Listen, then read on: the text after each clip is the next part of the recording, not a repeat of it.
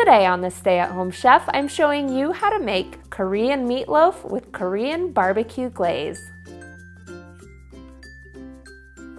This right here is Korean American fusion at its finest.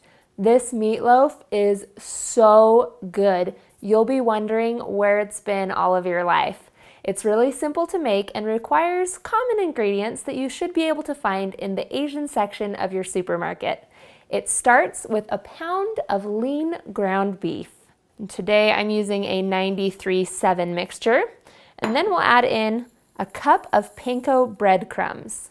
Now it's all been pretty normal so far, but here's where we're gonna add our Asian twist, starting with one tablespoon of gochujang. If you can't find gochujang, you can always substitute with another Asian hot sauce like sriracha. You can also leave this out if you don't want heat or spice to this. Then you'll also need a tablespoon of soy sauce, a tablespoon of sesame seeds, six cloves of crushed garlic, a teaspoon of sesame oil, a teaspoon of ground ginger, and one egg to bind it all together. Next, it's time to mix this all together, and the best way to do that is with your hands. Just get in there and mix it all together. I suppose you could use a spoon, but really the best way to do this is with your hands so you can break up all the meat and get all of the ingredients and tastiness mixed in well. You don't want to knead it too long, but it should quickly come together and hold its shape. Then we'll free form shape this loaf and place it into a lightly greased 9 by 13 pan. Now the reason I'm using a 9 by 13 pan for this instead of something like a bread pan, which would be a little more traditional, is so that the grease can release from the meat and it doesn't just sit there and soak in it and have a soggy bottom to your meatloaf. I hate that. Next, we'll bake this in a 350 degree oven for about 45 minutes. This recipe can easily be doubled or tripled, but the cooking time remains the same.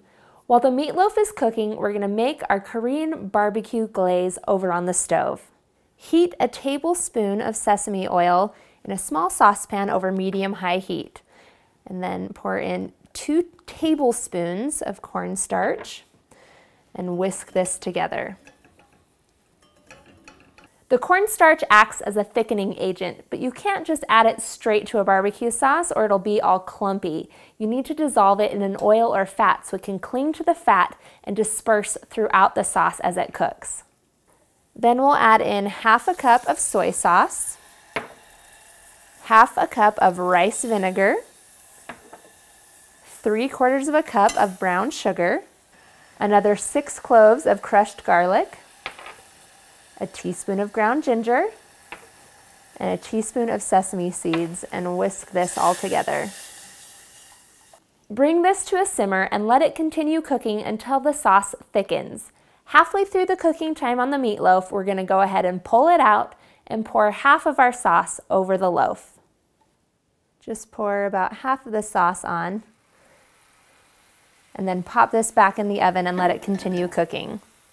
After the meatloaf has baked for 45 minutes, pull it out again and brush on the remaining sauce. Pop it back into the oven and increase the oven's temperature to 450 degrees and let that glaze bubble up and caramelize for another 15 minutes. Serve it up hot and garnish with some green onions for a splash of color. Thanks for watching. You can find the full written recipe in the video description. Be sure to subscribe and check out the rest of my channel where you can find hundreds of restaurant quality recipes you can easily make at home. See you later.